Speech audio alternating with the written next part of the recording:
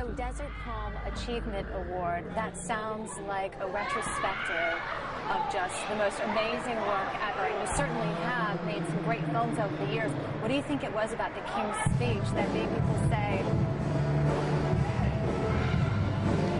Um, I think the magic of storytelling is, is a, it's a bit of a mystery. When um, we timed this well, didn't we? It's um, taking a story that you think you don't care about and making you think it's about you. It's something not great novelists pull off, you know, good filmmaking can do, and it's. I, I still haven't quite solved the mystery of this, but it's just a, a, a cracking good story. It's um, it's about very real people, and they literally are real people. And I think the fact that it's rooted in in truth, in, in historical fact, um, means that it has eccentricities and, and, and quirks about it that you wouldn't think up. You know, Tom Hooper said this, the director, and, you know, the, the fact that Bertie has to give his speeches, that the king has to give his speeches not in the room it looks as if he's giving them in, but in a back room, standing up with a window open, which you would counterintuitive to radio, you know, with his jacket off, with a desk propped up on school books, uh, redecorated personally by the therapist. Now, that we understood that because we found the diaries of the therapist, and that's exactly what they did, because that's what the king needed. We wouldn't have thought that up. Now, that's just one example of all sorts of little textual details that I think that fills it up. And um, you know, I've, I've, read, I've read all kinds of books which I think, you know, this area of life wouldn't interest me. And by the time you're 10 pages in, nothing could interest you more, and I think it has that quality. You said that it's about finding a role and finding in it somewhere that makes you believe that it's about you. Was mm-hmm. there anything about this role that you could identify with or that you did by the end of the filmmaking oh, process? Yeah. I mean, I, I, it's hard to decide what.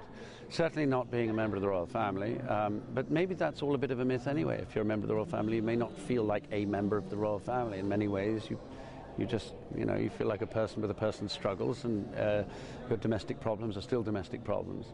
Um, this is about a man who's consigned himself to the shadows. Uh, he's reached midlife, having written himself off. Um, and he struggles to communicate. He has problems with intimacy.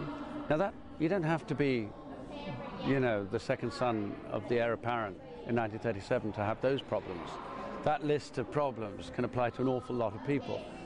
And um, I think there are certain things which are contagious in storytelling. I think fear is contagious, um, as is laughter. Um, you know, if a, very, very frightened person can make you feel frightened. Um, you know, a, a, very witty person will make you laugh. And those things are sprinkled through the story. A very warm person makes you feel warm. And I think part of the magic of it, frankly, is, is, um, is Geoffrey Rush's character. I think, that, I think that's largely why it works as well as it does. Otherwise, it would, it would be a long catalogue of suffering. And Geoffrey is like a guardian angel. He's the person you long for as your guide and your teacher and your mentor and the guy that's got your back and, and somebody that will never give up and will look out for you.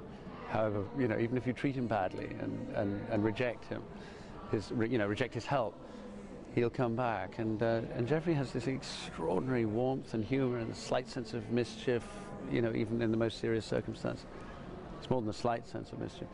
And I, I think he's, um, in some ways, I, I, really think he's, he's the heart of it and, and, why it works so well. It sounds like this was a group experience. Do you find that it's more interesting to be a part of films in which you're really brought up by other supporting characters or even ensemble pieces? I was just thinking of one of my favorite movies that may not be quite as serious, but uh, Love Actually is really a movie that strikes a chord with a lot of people because, as you said, they can see themselves in any one of those characters. Yes, it's certainly easier um, if you're working with a group because you feed, we feed off each other. I mean, you get a lot of it for free, really. If, if you've got a brilliant actor opposite you, you know, I think there's a there's a myth among uh, bad actors that a, a, good actor will show you up as bad.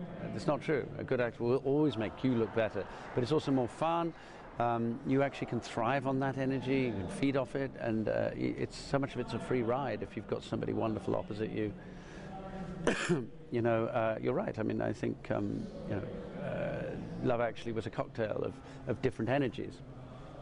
Um, you know, the film I did last year, Single Man, was a very solitary experience most of the time. But when Julianne Moore showed up, or when the, when the guys showed up and I had those scenes, suddenly it was a walk in the park. The scenes I had on my own, I had to almost invent the my opposite number. You know, you still have to react to something, but it has to be imaginative. Um, King's Speech, I never had that problem.